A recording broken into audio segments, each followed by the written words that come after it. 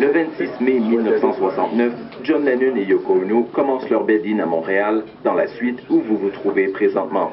Mais en dehors de cette semaine de paix, le contexte géopolitique mondial est très tumultueux.